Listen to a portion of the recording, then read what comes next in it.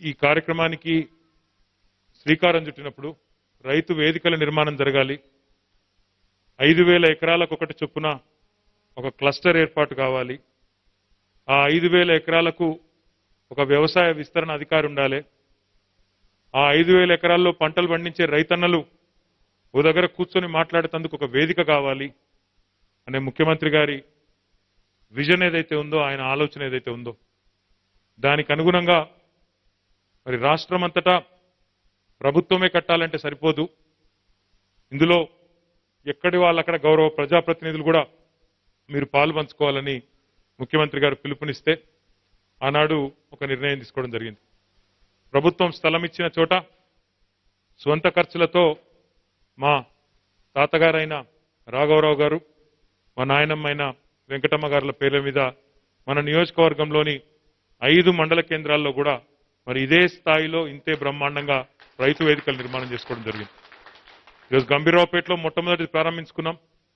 ముస్తాబాద్లో ఎల్లారెడ్డిపేటలో తంగళ్ళపల్లిలో వీర్నపల్లిలో అన్ని చోట్ల కూడా ఇదే రకంగా ఇదే హంగులతో చక్కగా నిర్మాణం చేసుకొని మండల వేదిక అంటే మండలం పెద్ద గ్రామం కాబట్టి పెద్ద క్లస్టర్ కాబట్టి మండలంలోని ఇతర ప్రాంతాల నుంచి కూడా రైతులు వచ్చే అవకాశం ఉంటుంది కాబట్టి విశాలంగా ఉండాలని చెప్పి ఒక ఐదు వేల చదరపడుగుల్లో ఈ రకంగా బ్రహ్మాండంగా ఐదు వేల స్క్వేర్ ఫీట్లలో నిర్మాణం చేసుకోవడం జరిగింది.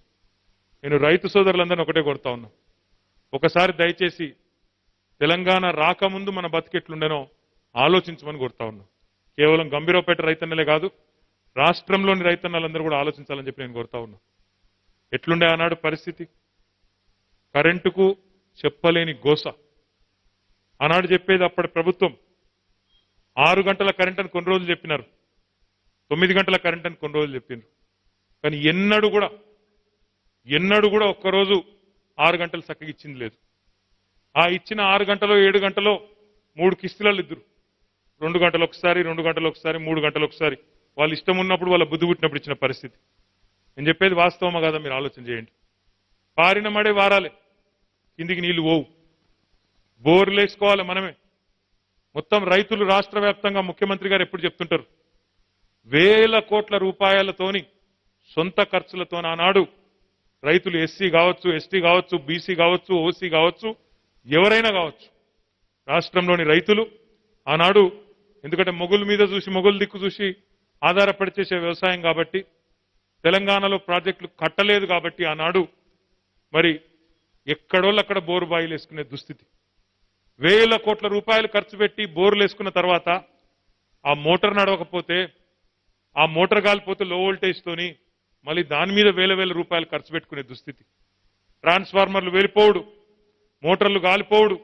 ఆఖరికి మన ఊళ్ళో ఎవరైనా చచ్చిపోయినా సెస్ వాళ్ళకి ఫోన్ చేసి బతిమలాడుకోవాలి కరెంట్ వాళ్ళకు. ఏమని? అన్న బావి కాడికి ఒక ఇరవై నిమిషాలు కరెంట్ అన్న దండం పెడతా.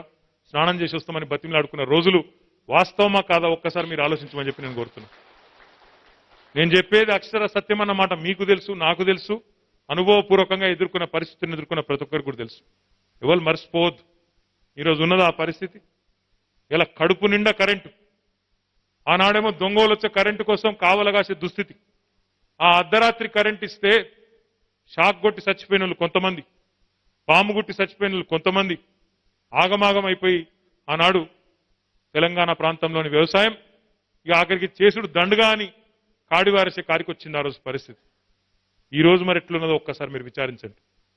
ముఖ్యమంత్రిగా కేసీఆర్ గారు వచ్చిన తర్వాత తెలంగాణలో రైతు సంతోషంగా ఉండడా లేదా ఒక్కసారి గుండెల మీద చేసుకొని చెప్పమని నేను ప్రతిపక్ష నాయకులను కూడా అడుగుతా ఉన్నా.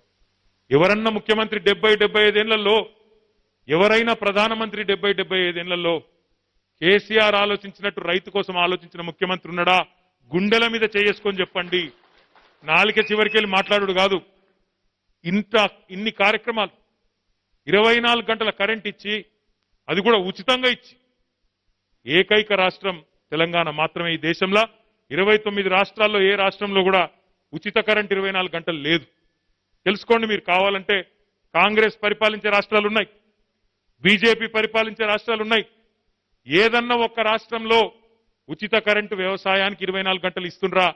నేను సవాల్ చేస్తా ఉన్నా బీజేపీ నాయకులను కాంగ్రెస్ నాయకులను దమ్ముంటే చెప్పుమని నిలదీస్తా ఉన్నా. ఎక్కడనున్నదా? ఎవరు లేరు.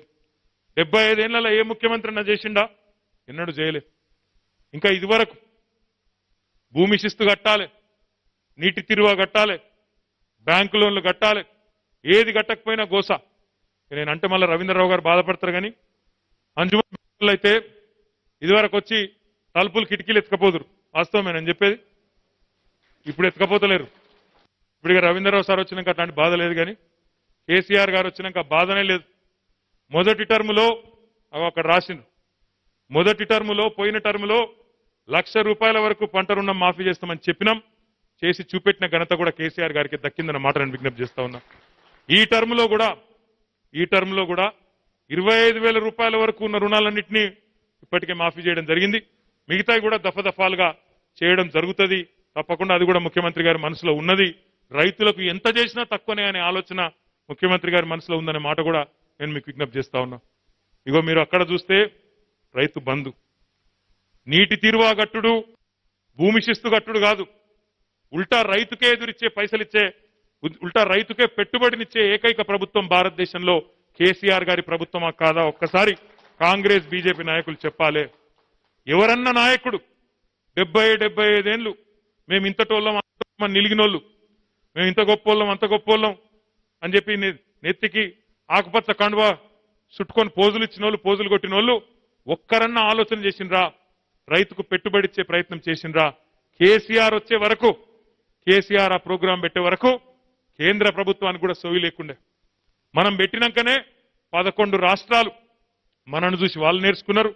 ఇప్పుడే వినోద్ కుమార్ గారు చెప్పినట్టు ప్రధానమంత్రి కూడా మన ప్రోగ్రాం నచ్చి మన తర్వాత రెండేళ్ళకు ప్రధానమంత్రి కిసాన్ సమ్మాన్ యోజన అని వాళ్ళు కూడా పెట్టిన మాట కూడా వాస్తవం. మనము మంచి ఎక్కడున్నా నేర్చుకోవాల్సిందే తప్పేం లేదు. రైతు బీమా దేశంలో ఎక్కడ లేదు ప్రపంచంలో ఎక్కడ లేదు.